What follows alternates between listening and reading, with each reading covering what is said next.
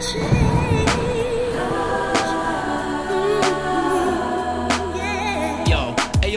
about the earth, really talk about survival. We could talk about the poles where the cold is unrivaled. The Arctic top of the world got people and polar bears. Antarctica, crazy penguins chilling down there on miles and miles of ice and glaciers. But something ain't straight with our polar neighbors. It's a change in the climate, a change in the weather. It's heating up now, but it's not for the better. See, the heat comes down from the sun to the earth, but now the heat can't escape. It just can't disperse because of carbon dioxide from power plants and factories, causing trucks so much more than you could find now naturally. So the poles get warm and the earth gets hotter. All that necessary ice melts down into water. And the impact, the sad fact is it can only escalate. So for real, we gotta act now before it's too late. Take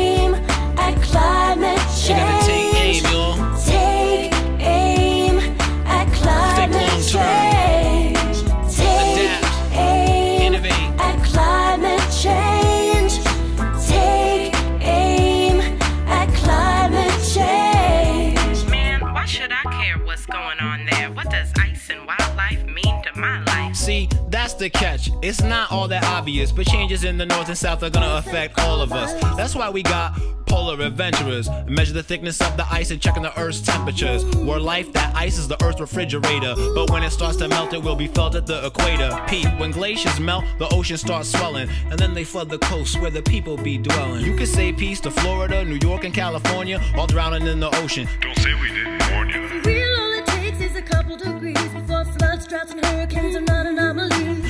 these catastrophes become our new realities, coming down on the world just like the sword of Damocles. Take aim oh, at climate change. Gotta all work together. Take aim at climate change.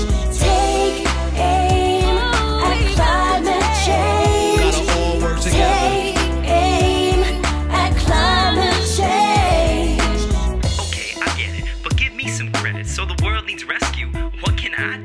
Just one small positive act and then another, and then add them all together, one after the other. Come on, you know the drill. It's about conservation, using only what you need and making sure that you're not wasting. Lots of information can be found on the web, so educate your head and don't forget to let your knowledge spread. Is that all? Not even close, that's not the end of it, but a million small things can produce immense benefits. Any way you call it, there's no single way to solve it. We gotta have involvement before the earth becomes insolvent.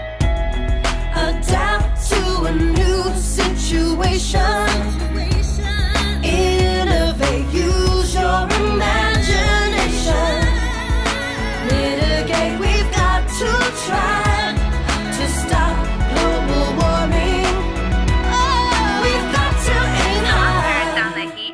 watch what I eat. But what can I do to take a long term view? We need smarter ideas for sustainable policies, new technologies for a new green economy New discoveries and new questions to ask. Cause we can figure out the future by examining the past. So we sail to the poles and sample the extremes and drill into the ice and discover what it means. So use that brain and make science a priority. And you can work on stopping global warming with authority. So act now, there's no time for games.